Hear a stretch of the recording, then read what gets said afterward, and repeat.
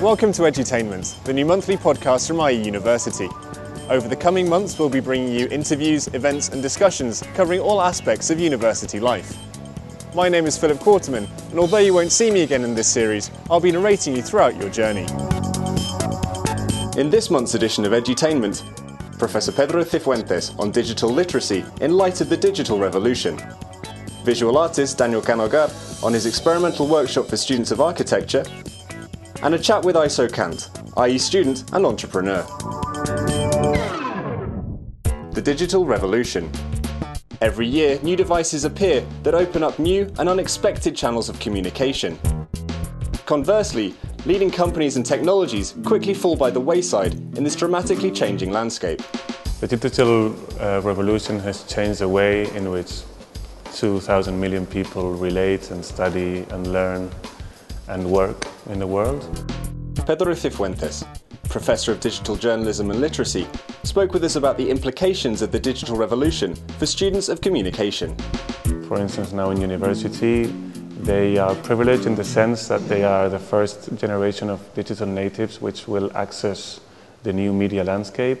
But on the other hand, they must be more flexible than ever because they must adapt to a landscape which is suffering from uh, two crises, the economic crisis and, the, and their own industry crisis, because um, nobody has found a business model which makes uh, news production or media uh, profitable.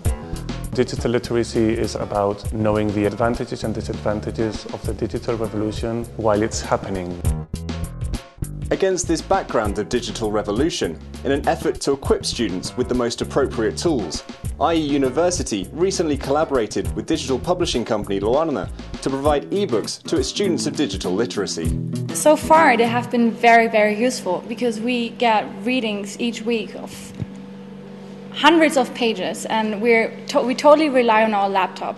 So, just for example, last Monday we had a field trip to Madrid and we had readings lots of readings. So we basically put the readings on this ebook, took them to the bus, and we're able to read on the bus. And they're so handy, you can put them everywhere. So perfect.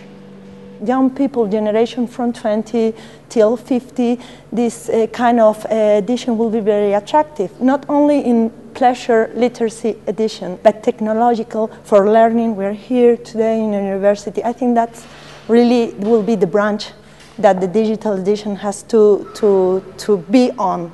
In terms of taking notes, I usually have a notebook uh, and pen on the side, and, and uh, if, if there's a particular idea that uh, I remember from the text, I'll just search some keywords and it pops right up, take my notes, and go back to reading. So it's, uh, I find it a lot more convenient than having to leaf through 50 or so pages. It is very important in digital literacy to um, persuade the students that it, the new journalism or online journalism or communication is not only about learning the tools and mastering the tools, but knowing how to separate the wheat from the chaff and not um, forgetting the two or three cardinal virtues from traditional journalism that should be kept and maintained in, this, in the new landscape, uh, like um, having your own sources of information and uh, double checking and grabbing the phone and things, which in the midst of this um, uh, chaos, sometimes of swiftness and uh, immediacy, uh, is, is lost. When we talk about digital literacy for communication students, we're not talking about the future, we're talking about the present, the uh, ongoing revolution we are living now. And uh, this revolution gives us more tools and makes our life much easier, but journalism hasn't changed. The aims of my workshop are really about shaking up um, the notion of what an architect is supposed to be. Spanish visual artist Daniel Canogar, known for his work with photography, video, sculpture, and installation, recently spent two weeks working with second year students at IE School of Architecture. We learn uh, about ourselves. I mean that we have discovered new things of what we are and what we want. I see architects uh, reinventing themselves uh, and thinking about other ways of, of, of working that is not only about constructing. We have to, to think more and being more creative, creative in less time. I think that architects and artists have a lot in common. We both like to build things. However, I think that maybe as visual artists, um, we have a little more freedom uh, than architects do, unfortunately, because there are many constraints associated with actually building.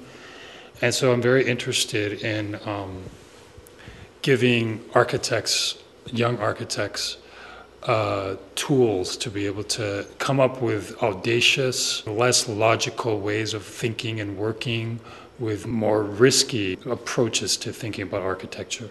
It's a way to express yourself because you have a lot of ideas in your mind, but as an architect, you can express all that ideas into a building or a um, housing block or whatever because you, you can do those things to, to the rest of the people to share your opinion and your ideas.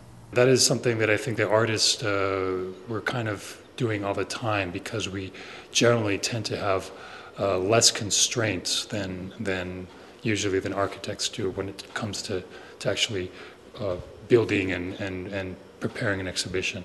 So this is something that I think I like to share with architects.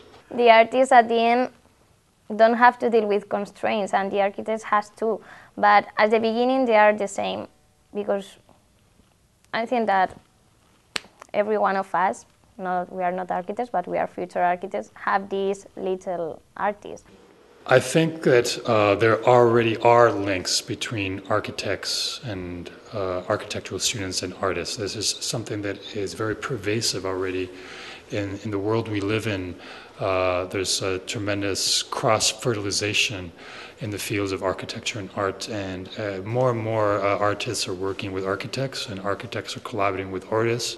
So I think I think it's only this experimentation workshop is only a reflection of something that already is beginning to exist and be of great importance in the professional world. Entrepreneur, noun, a person who sets up a business or businesses.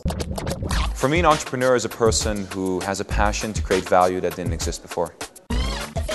My name is Eiso Kant. I'm from the Netherlands and I'm currently studying at IE University a degree in business. I started my first company when I was 15. My current company is named Twollars, where I work with charities. And now at IE University, I'm starting my next one. And I'm 19 years old. Is there an age for entrepreneurship? When I started my first company, I was 15. I had a big idea. I wanted to start uh, an e-commerce website and I decided to divide it up in tiny steps and gain the confidence for each next step. Uh, of course, my age was a challenge across different moments. I once came into a boardroom and it was sitting there with the CEO and, uh, and CTO of this company, and I saw an incredible skeptical face about me coming there to consult them on, on a project. And that is natural. I mean, if you have a 16 year old kid walking in and you're a CEO of, of 40 plus, you will initially be skeptical. The reason I got there, though, was because of reputation. By doing good things in the past, building that up, and having people willing to vouch for you and say, okay, listen to this guy, give him 10, 20 minutes of your time, and then decide. And I think that's one of the most important things in business, and especially when you're young, is treat people right, do things right, and, and grow from that forward. Gladly in that meeting, uh, about 15 minutes in, I, uh, the CTO stood up and said, I'm very sorry, I, uh, I apologize. I, I, sat here initially saying, thinking that I was wasting my time and gladly realized that that's not true. So I think if you're sincere and you're honest and you prove what you're worth, people can see past your age. Why study? Well, initially, uh, going to university for me was something that was part of my culture. It was part of my background. I wanted to be 30 and have a degree. Uh, then I visited IE and I saw the campus and I realized that this, there was a degree which was focused on entrepreneurship, which had as its elements not just accounting, but, but other factors that interest me.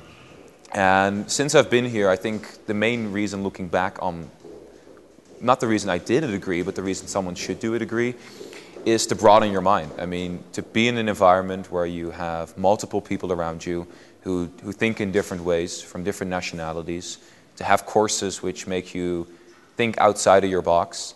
And I think that's why I'm very happy that I'm doing a degree. So, an age for entrepreneurship?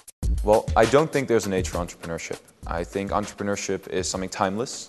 I think it's a drive for wanting to create value, create value out of nothing, and do that by, by getting great people around you. So if you're, if you're 10 years old with a lemonade stand and you're trying to you're trying to sell lemonade or if you're 50 years old and trying to start a biotech company i don't think there is a difference because the only reason you can be crazy enough to be an entrepreneur is to have that passion and drive to achieve your goals and i think that's what entrepreneurship is about and that's why i don't think there's an age for it Join us again next time for another edition of Edutainment.